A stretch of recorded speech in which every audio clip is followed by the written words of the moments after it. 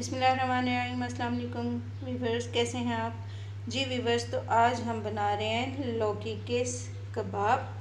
तो उसके लिए ये हमने लौकी ली है, तीन अदद लौकी है, तकरीबन एक के जी के आसपास। और ये चने की दाल है, जो हमने बॉईल करनी है, तकरीबन एक प्याली के लगभग। तो लौकी को छील के उसके बाद कश करेंगे। और इसे हमने बॉईल करना है, चने की दाल को भी बॉईल करना है। तो फिर हम बाकी आपको प्रोसीजर बताते हैं। जी वीवर्स लौकी हमारा बॉईल हो गया। अब इसे हमने बहुत अच्छे से नचोड़ना है, हाथ के साथ दबा के। और इसमें से सारा पानी हमने निकाल देना है। जितना मुमकिन हो सके इसे अच्छी तरह दबा के तो पानी आप निकाल दें। जी तो इसमें थोड़ा सा धनिया जाएगा। धनिया को फाइन चॉप आप कर लें और दो से तीन सब्ज़ मिर्च जाएँगी और इसे भी हम चॉप करेंगे। सब्ज़ मिर्च को आप हमेशा चॉप करके डाला करें। मैं कितनी दफ़ा बता भी चुकी हूँ। बिल्कुल इसे फाइन चॉप करेंगे। अगर ऐसे डालते हैं हम किसी भी चीज़ में तो मुँह में आती है और बहुत कड़वी लगती है। तो इसलिए इसे हमेशा फाइन चॉप करें और फिर इस्तेमाल करें।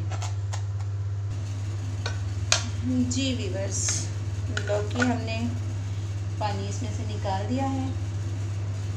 इसमें चने की दाल जो हमने बॉईल की थी और इसे हमने बारीक पीस लिया है। ये जाएगी थोड़ी सी बस काफ़ी है इतनी सी। और इसमें जाएगा धनिया और सब्ज़ मिर्च जो हमने चॉप की है।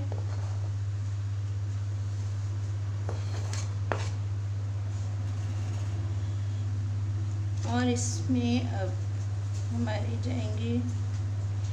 नमक अबाउट वन टीस्पून और रेड चिली पाउडर तकरीबन वन टीस्पून में डाल रही हूँ। फिर इस टेस्ट कर लेंगे और फिर हम इसमें कमी बेशी हुई तो वो डाल देंगे और इसमें एक दो तो चीज़ें और जाएँगी। जी तो गरम मसाला हाफ़ टी स्पून और थोड़ा सा हम इसमें फ्लेवर के लिए चाट मसाला डाल रहे हैं, हाफ़ टी स्पून और इसमें जाएगा बेसन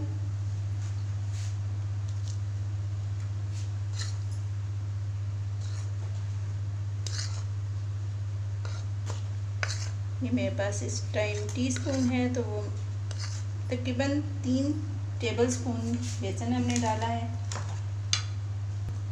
और लहसुन अदरक का पेस्ट एक टीस्पून के बराबर अब इन चीज़ों को हमें मिक्स करना है बहुत अच्छा सा।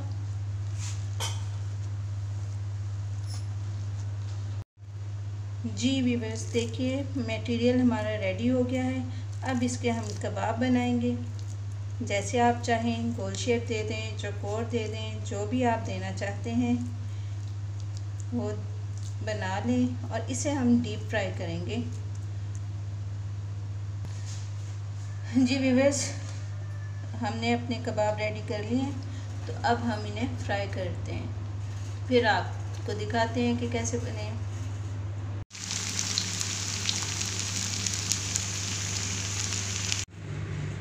नहीं, जी, माशाल्लाह से अल्हम्दुलिल्लाह। लौकी के कबाब हमारे रेडी हो गए हैं। बहुत ही डिलीशियस जो बच्चे नहीं खाते लौकी, उनके लिए तो बहुत ही आइडियल सी चीज़ है। तो इन लौकी की और भी वैरायटी आपके साथ शेयर करेंगे। तो वीडियो अगर पसंद आई है तो इसे लाइक और शेयर ज़रूर कर दें। और दुआ में याद रखें। इसके साथ ही इजाज़त दीजिए। अल्लाह हाफ़